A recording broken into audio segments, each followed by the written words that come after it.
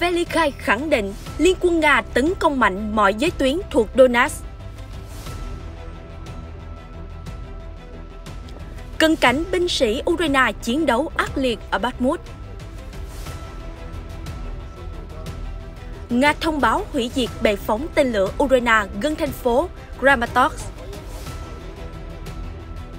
Tình cảnh bí đát ở miền nam Ukraine, oanh kích dữ dội, bóng tối bao trùm. Mặt khác, Ukraine báo cáo tấn công đại bản doanh của nhóm Wagner Group. Tổng thống Ukraine hy vọng nhận trái ngọt sau nỗ lực ngoại giao quyết liệt. Điện Kremlin Mỹ Mai, EU chưa thoát phụ thuộc Nga đã dựa dẫm Hoa Kỳ về năng lượng. Bê bối nào khiến Phó Chủ tịch Nghị viện châu Âu bị đình chỉ chức vụ? Tổng thống Joe Biden chủ trì thượng đỉnh các nhà lãnh đạo Hoa Kỳ và châu Phi. Tất cả sẽ được cập nhật ngay sau đây.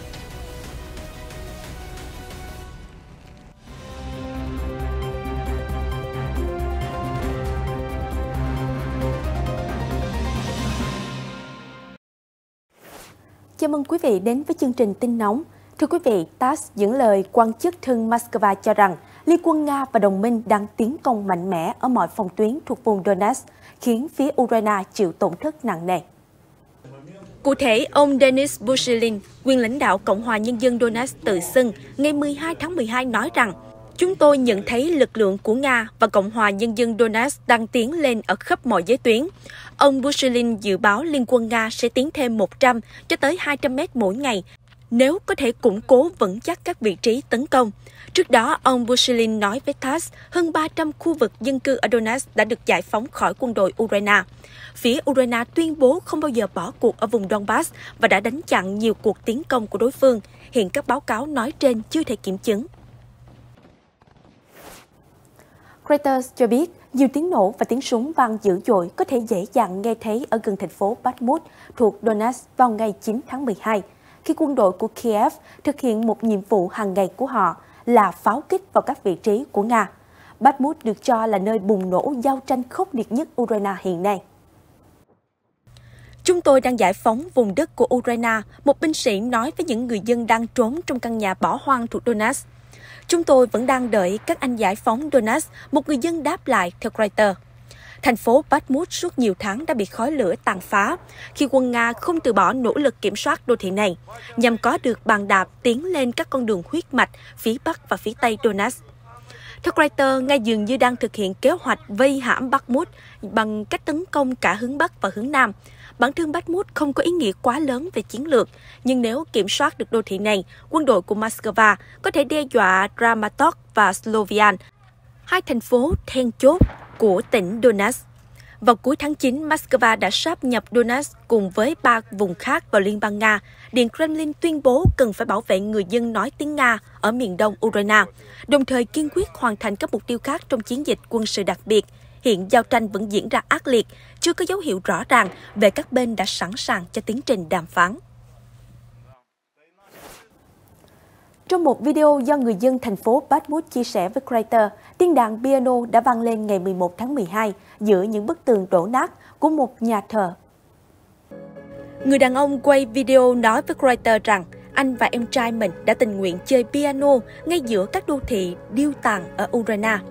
Đến nay, họ đã chơi nhạc và quyên góp hơn 20 túi ngủ cho các quân nhân Ukraine, ngoài ra tặng hơn 100 phần quà cho trẻ em Greta cho biết, dựa vào hình ảnh trên mạng, có thể xác thực video đúng là quay tại một nhà thờ ở Bakhmut, tỉnh Donetsk. Tổng thống Zelensky ngày 10 tháng 12 cho biết, tình hình ở các thành phố chiến lược miền đông Ukraine vẫn cực kỳ khó khăn.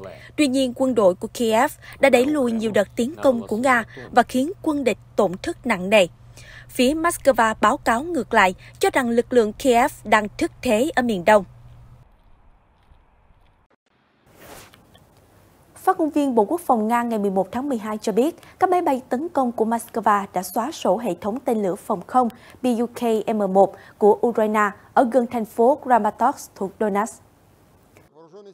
TASS dẫn lời phát ngôn viên quân đội Nga ông Igor Konashenkov thông báo, gần khu vực Kramatorsk, một bệ phóng tên lửa Đức đối không Buk M1 của Ukraine đã bị xóa sổ.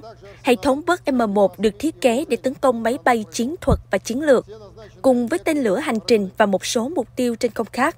Hệ thống có thể nhắm mục tiêu trong phạm vi từ 3 cho đến 45 km, ở một độ cao từ 25 m cho đến 22 km và có thể gia tốc 1.200 m trên giây, TASS cho hay. Báo cáo của phía Nga chưa thể xác thực.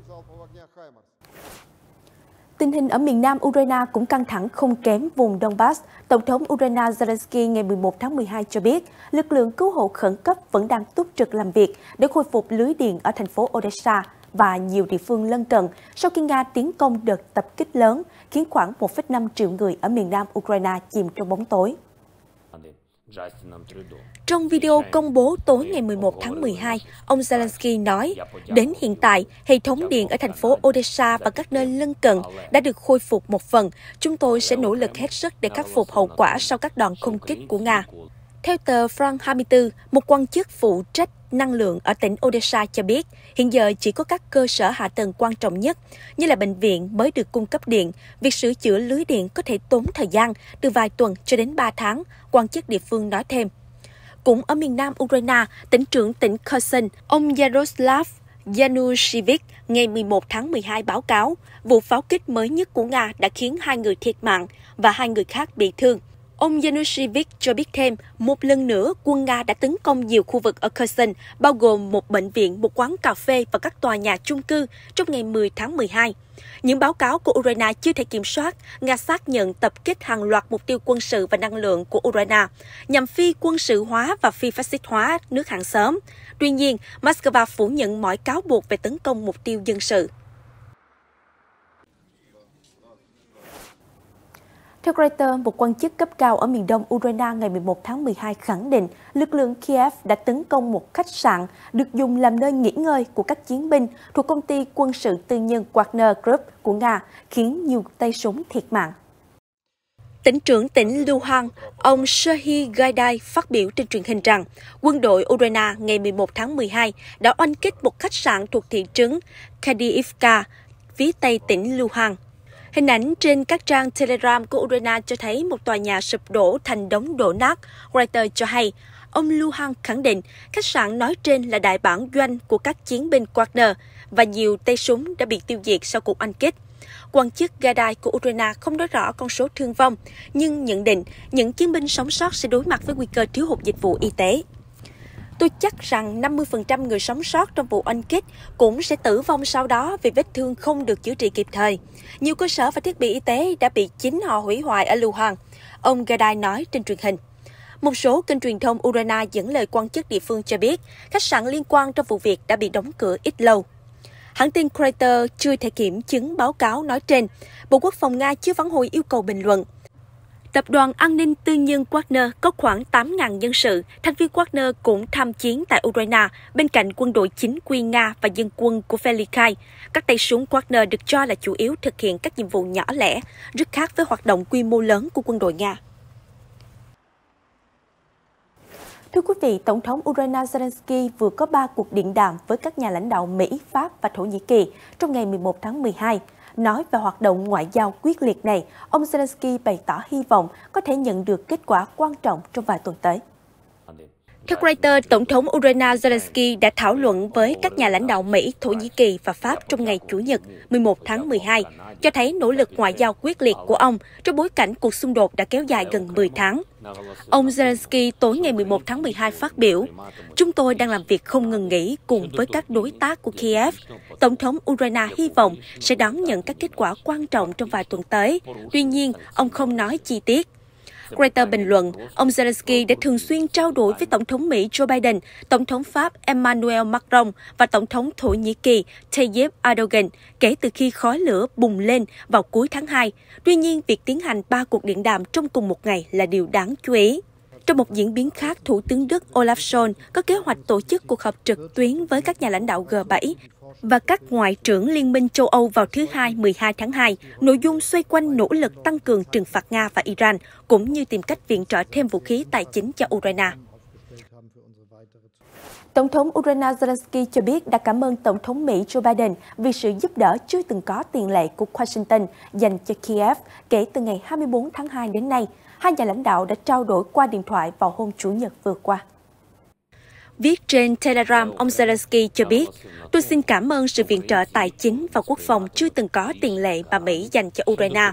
Điều đó không chỉ góp phần tạo nên thành quả trong chiến đấu, mà còn giúp bảo vệ sự ổn định của kinh tế Ukraine. Chúng tôi cũng trân trọng nỗ lực của Mỹ để giúp Ukraine khôi phục cơ sở hạ tầng năng lượng.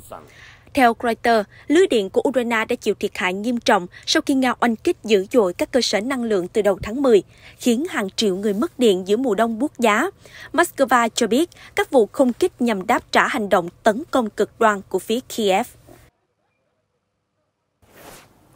Phát ngôn viên Điện Kremlin Dmitry Peskov ngày 11 tháng 12 cho biết, trong khi các nước Liên minh châu Âu EU muốn cắt đứt sự phụ thuộc vào năng lượng Nga, thì họ đang ngày càng dựa dẫm vào nguồn cung từ Mỹ. Theo đài RT, phát ngôn viên Peskov cho rằng, thông qua việc tăng cường nhập khẩu hàng hóa năng lượng Mỹ, EU đã thay thế cơn nghiện này bằng một cơn nghiện khác. Điều đáng nói là khi mua năng lượng của Washington, phía Brussels đang phải trả một cái giá đắt đỏ hơn rất nhiều. Ông Peskov bình luận với đài nhà nước Nga Rossiya 1. Cho đến nay, người châu Âu đang phải trả hàng tỷ euro mỗi ngày cho sản phẩm năng lượng và bên hưởng lợi ích lớn chính là Washington. Theo RT, châu Âu suốt hơn một năm nay đã phải đối mặt với bài toán khủng hoảng năng lượng.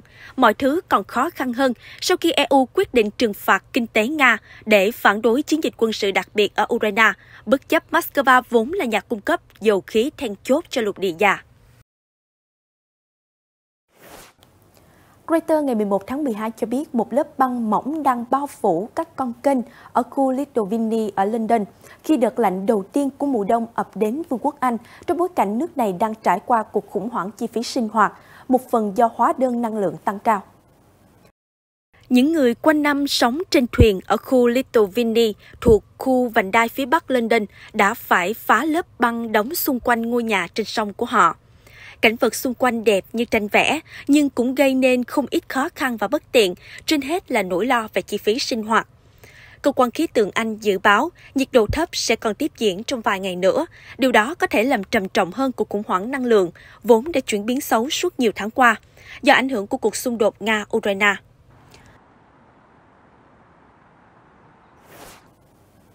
Thưa quý vị, Nghị viện châu Âu vừa thông báo đình chỉ chức vụ của Phó Chủ tịch Eva Kaili sau khi có thông tin bà bị giới chức Mỹ điều tra cáo buộc tham nhũng.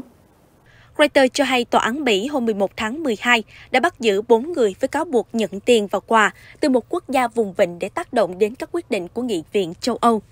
Trước đó, các công tố viên đã khám xét 16 ngôi nhà và thu giữ số tiền 631.800 đô la hôm 9 tháng 12 trong một cuộc điều tra về rửa tiền và tham nhũng. Các công tố viên cho biết họ đã nghi ngờ trong nhiều tháng rằng một quốc gia vùng vịnh đang cố gắng gây ảnh hưởng đến các quyết định tại Nghị viện châu Âu. Nguồn tin của Reuters cho biết quốc gia này có thể là chủ nhà World Cup Qatar.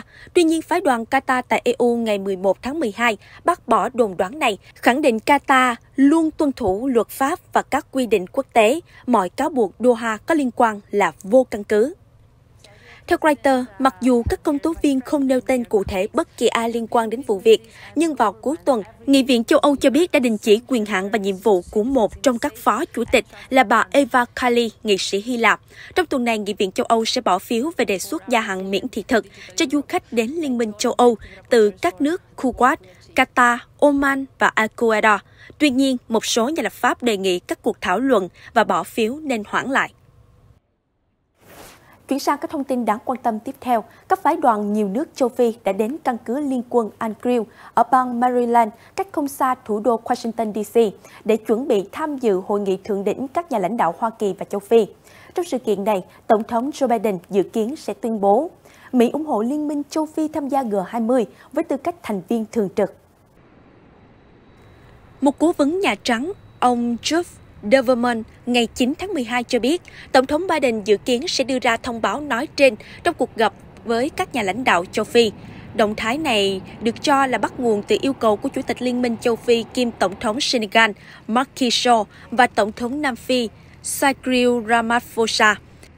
Nam Phi là thành viên G20 duy nhất đến từ châu Phi. Liên minh châu Phi là tổ chức có 55 quốc gia thành viên. Hoa Kỳ vào tháng 8 đã công bố một tài liệu chiến lược mới về khu vực châu Phi cận Sahara, trong đó nhấn mạnh tầm quan trọng của khu vực, nêu cam kết ứng phó với sức ảnh hưởng gia tăng của Trung Quốc và Nga, đồng thời cam kết mở rộng hợp tác quốc phòng với các nước châu Phi có cùng chí hướng. Vào tháng 11, Ngoại trưởng Mỹ Antony Blinken cho biết Washington nên thực hiện những điều khác biệt để giúp châu Phi đáp ứng các nhu cầu về cơ sở hạ tầng. Theo Reuters, chính quyền Tổng thống Biden đã hứng chịu một số chỉ trích về không quan tâm đúng mức đến châu Phi, trong bối cảnh Trung Quốc xây dựng sức ảnh hưởng ngày càng lớn mạnh về chính trị và kinh tế ở lục địa này. Tin tức vừa rồi cũng đã khép lại chương trình ngày hôm nay. Cảm ơn quý vị đã quan tâm theo dõi. Xin chào tạm biệt và hẹn gặp lại.